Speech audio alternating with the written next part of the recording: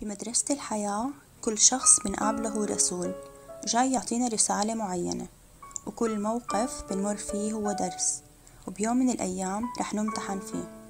إذا نجحنا بيجينا اختبارات تانية ودروس تانية وهكذا دواليك لحتى نتطور ونصير أرقى روحيا.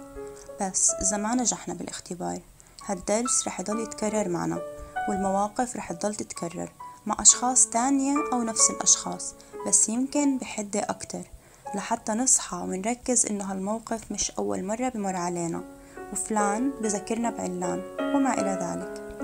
بس يمكن تكون الضربة أقوى والألم أكبر والدرس مكثف أكتر. كونه عم يتكرر بس إحنا مش واعيين لإله. فبتزيد القوة لحتى يكون مثل الخبطة يلي بتصحيك بعد غيبوبة طويلة وبتطلب منك تركز بورقة الإجابة وتعدي الامتحان على خير.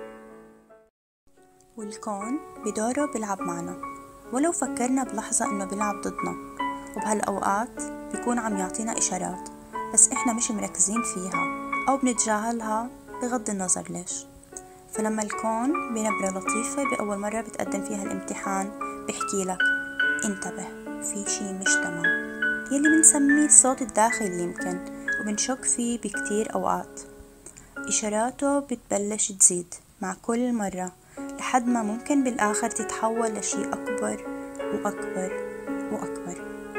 خيبة أمل حادث ألم مرض فقدان شخص أو شي والله أعلم شو كمان. المواقف هي تحديات لازم نتخطاها.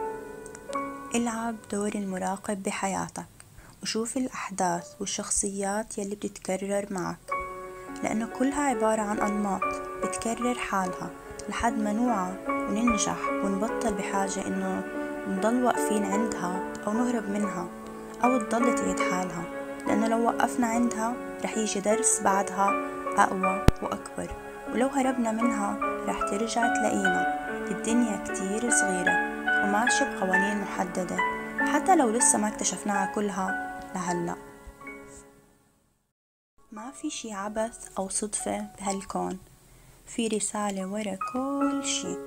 وحتى هالريكورد هاد بما إنه وصلك فأكيد في رسالة من الكون عن طريقي إلك. وإلي بما إنه خطر على بالي وسجلته. بكل لحظة اتذكر دايما إنه كل شي رح يمر.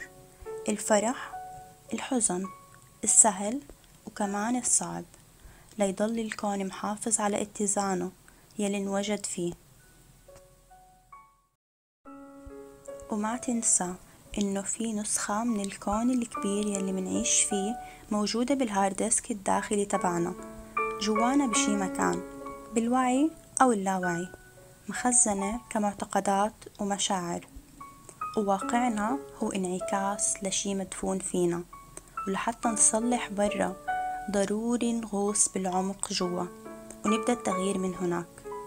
وبالنهاية بندعي إنه يعطينا الحكمة ونضل بقوتنا ونكفي الطريق ونخلق شي تغيير. سلام.